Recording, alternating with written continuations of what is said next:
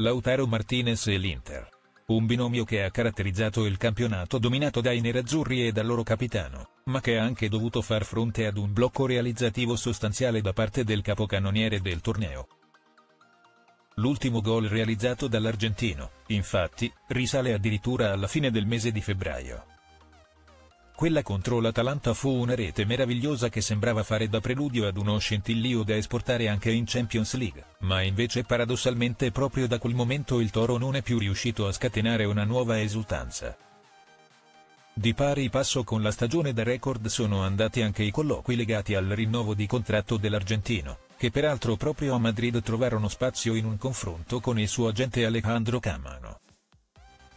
Se non è mai stata in discussione la volontà di permanenza del numero 10, quello che manca è la ratifica dal punto di vista economico di un nuovo accordo con l'Inter che faccia sfiorare a Lautaro Martinez i 10 milioni di euro netti a stagione.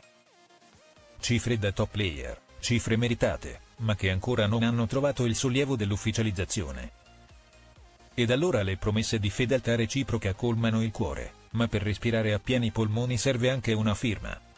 Ed adesso è necessario e indispensabile passare alla fase operativa.